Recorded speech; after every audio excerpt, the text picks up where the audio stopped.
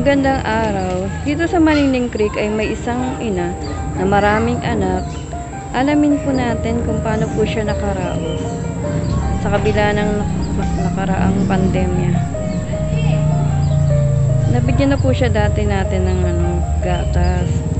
Kumustahin po natin ng mga bata. Samahan niyo po ako. Hello, magandang araw. Narito po si Ate Lorna, ang may labintatlong anak. Dati po namin siyang nabigyan ng gatas noong pong, bago pa lang po yung ah, COVID na yung pandemya. Isa po siya sa natulungan natin na nabigyan ng gatas. Ah, Ate Lorna, paano po kayo nakaraos nung ano, may pandemic? Naka, ang pandemic talagang abang hirap kaya ate. Ano na, minsan, isang, eh, dati tatlong beses kumakain sa isang araw. Umabot tayo sa ano eh. Parang, parang isa ng isang beses na lang. Pahirapan pa yung ano.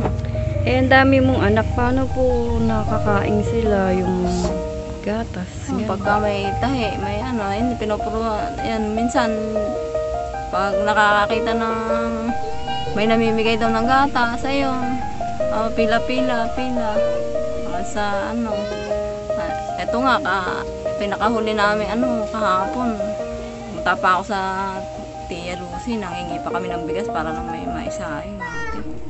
Ah, sa hirap ng ano, ko alam, hindi ko alam bakit kahit pa paano nakakaraos pa rin kami sa pang araw-araw. Nangihingi niyan sa tiya niya ng bigas. May asawa po kayo? Meron po construction worker. Minsan may trabaho, minsan wala. Kalimitan wala. Ah, sa mga nakikinig po, ah, may kahilingan po ba kayo para po sana ay matulungan namin po kayo? Ano po ang kahilingan ni Ate Lorna? ang kahilingan ko po ay magkaroon lang ng ano tong aking mga anak. Gusto ko sana mga ano sila kasi pinasok ko sila ng module ate.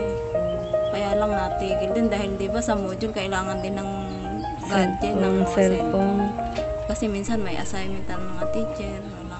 Ngayon, hindi ko na naman sila na ano dahil wala nga kaming ano, natigil na naman sila. Ilan yung pinasok ko na yun. Yun ang hindi ko lubos maisip bakit ganun. Nahihirapan. Nahihirapan talaga ako. Nahihirapan talaga ako para sa mga kaya hindi ko sila mapag-aral kahit gusto ko man. Natigil na naman sila.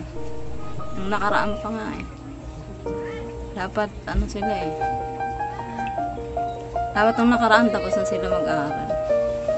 Ah, Ayun, natigil uulit na naman po. Sila, Oo, natigil. Natigil. Tapos in-enroll ko na naman ulit ngayon. Ayun, natin, hindi ko alam. Hindi, hindi na namin napapasa yung module nila kasi wala nga silang Nasaan pa yung mga anak niyo? Ah, andun po sa likod.